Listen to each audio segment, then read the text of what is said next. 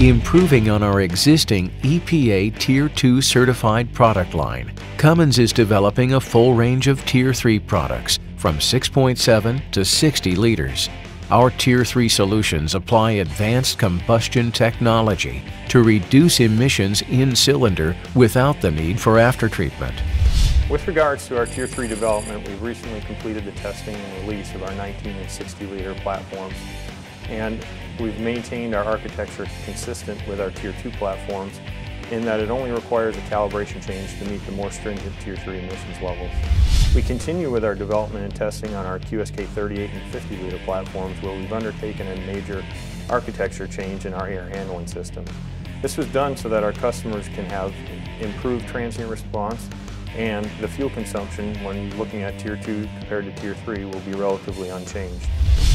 Extensive testing ensures Cummins engines meet stringent performance and emissions requirements.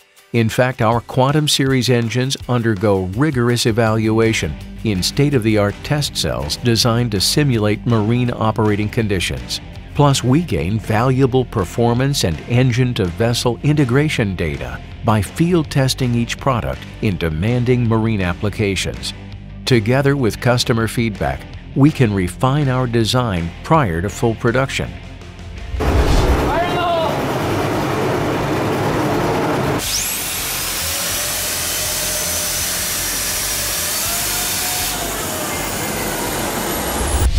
Quantum Series field testing is currently taking place on Enterprise Marine's Eugenie.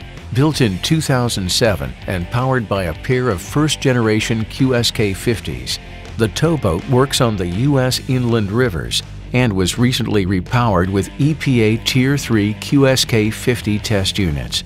The field test will last 12 to 24 months, logging over 15,000 hours.